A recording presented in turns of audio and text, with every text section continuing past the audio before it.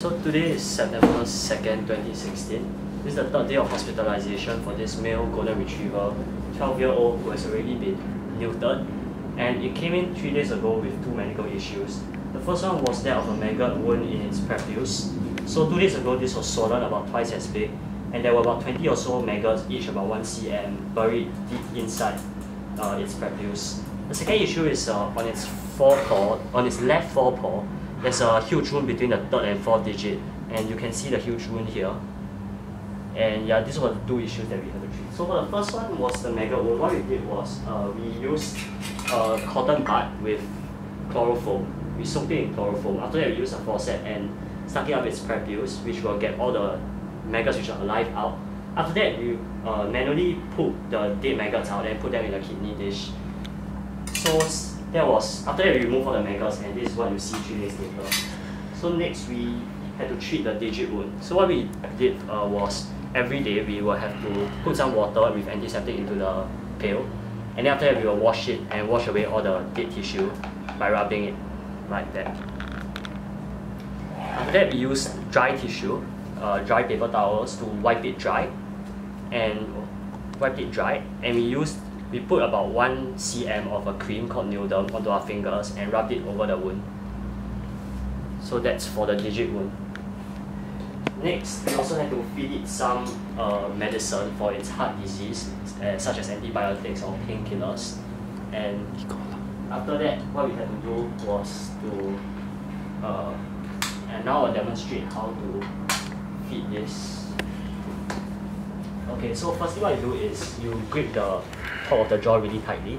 So then the dog sit down probably uh, on the, on the Up. chair.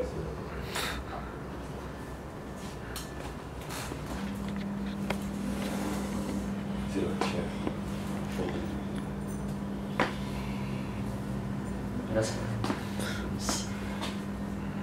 Up.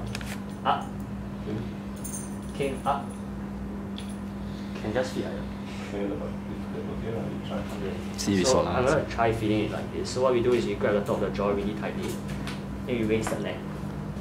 By right, just ask him to stand up. Left king, pull the leg up, the other leg to the side here.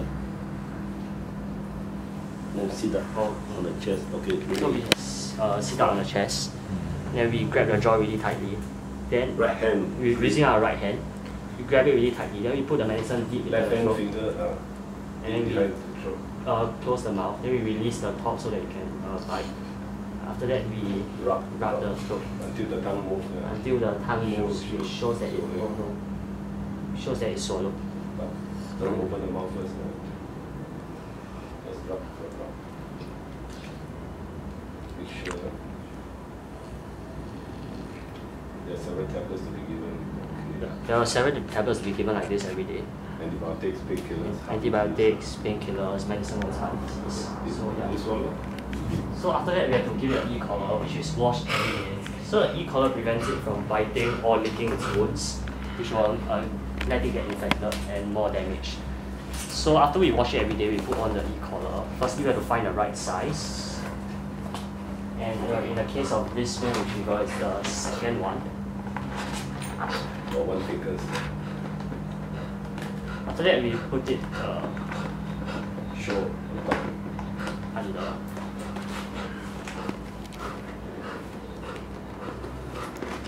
And then through the second one.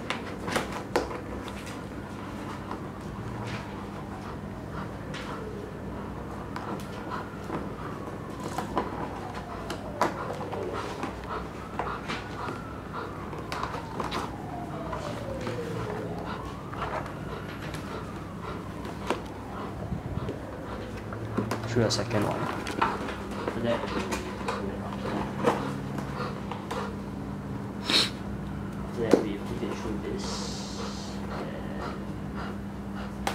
this and through a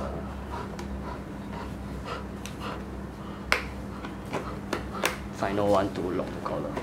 Yeah, after that we use a string which allows us to anchor the collar tightly you it it through everything.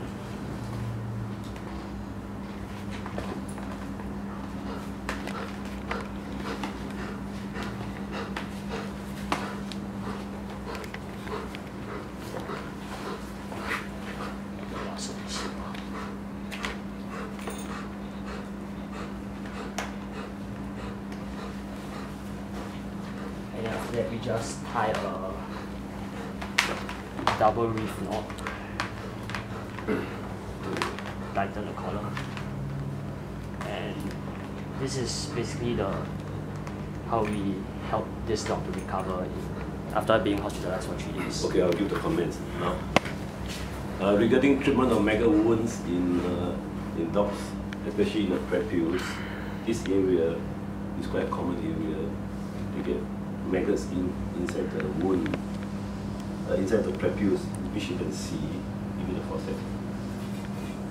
When it first came in three days ago, it was full of maggots here on the foreskin here, and the dog was leaking, and there were at least 20 maggots here. So now you see this dog passes a discharge. This is a yellowish discharge, quite common in male dogs, because the pre- prepuce is uh, is quite quite long, quite deep. So this one the owner should supposed to clean every day, but uh, many owners don't do it. So it attracts the the flies, you see, especially in the boarding kennel. Boarding kennel, they don't have time to do all these things. So it can make a, make a wounds. And uh, the treatment is, first of all, sometimes we use foam on a cotton cotton swab and then just put on top to uh, to get the maggots to come out. But if the maggots are alive, they will come out by themselves. And then when they come out, we just plug them out. But the problem is that uh, there will be more maggots inside here. So if the if the vet sends a dog home on the same day, on the same day, then as in this case the vet sent the dog home on the same day, then a few days later, lots of makers come out again. And that's where the owner is not happy. Not happy because he could pay money again to uh, to do again, and that's where there was some misunderstanding of the vet as a blood sucker, but actually the owner should have uh, should have uh, checked. But in, in Toa Payoh vets, we always keep it one day overnight, and then when the, the second day, check whether there is uh, the swelling is down. If the swelling is down, and the wound closes, as you can see here, there's no more holes here. So safely the dog can go home on the second day with uh, antiseptic and, and antifungal, anti-maggot cream and wash. So in this case, the dog's been here for three days. The maggot is definitely no more. Now the other thing is, this is called a lick granuloma. Now lick granuloma, lick granuloma is very itchy to the to the dog, especially big dogs. Now originally there was a wound. There was a wound here. The wound was here. And this dog being in the boarding kennel I think the the staff won't have time to, to bother with it. So the dog keeps on licking. This e-collar may not be useful because it's quite short. Now so the more he licks the, the tissue becomes more and more swollen so this is called a lick granuloma and in this poor golden retriever is quite old, so the immune system is poor, and you can see it, it, it even get worse, deteriorated into a big hole here. You see, and because the dog's been licking it, probably the maggots cannot survive here. Now, this lick granuloma, the treatment is very dif- difficult in many cases because drugs will not bring down the the granuloma this granuloma is is a reactive tissue from the wound. Now, in this case, in between the digit, there is a big wound here as well. And uh, so, whatever cream you apply, it doesn't cure the the problem because first of all, the, the boarding kennels staff wouldn't have the time or the interest to really wash the wound just for this. It may take about 10 15 minutes every day. And uh, so, what's the solution now? Now, there are two solutions at least. Now, the first solution is if the dog with the lick granuloma does not have this wound in between the digit, you can see this big wound here, then I would use a steroid which I inject in under anesthetic Inject the steroid here, like 360 degrees, and bandage up the dog. And from my experience, if it's just a pure lick granuloma like this size, about two to four weeks, they disappeared, the swelling disappeared.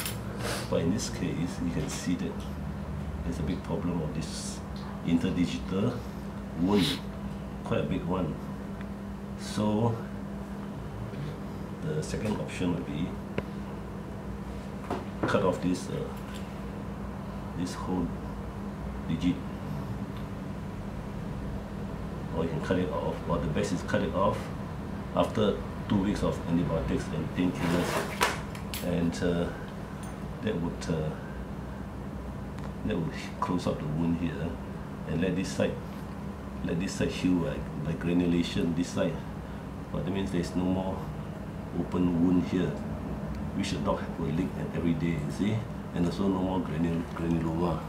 So that is the second surgical option. That's, that's the surgical option. The first one is the medical conservative of, uh, action of steroid plus antibiotics intralesion.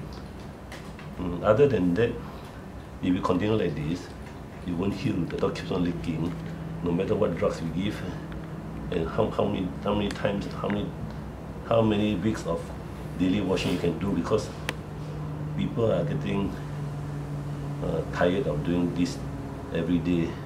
And so the poor dog keeps on licking and uh, being an old dog is easily stressed out. So this condition will continue until uh, more flies will come again so if a dog is to go to a boarding kennel then uh, unless you can ensure that the boarding kennel operator is really uh, keen on treating such cases, if not then send it to the vet who either treat it with medically or surgically and uh, that would be for the interest of the, of the dog. Okay. Stop.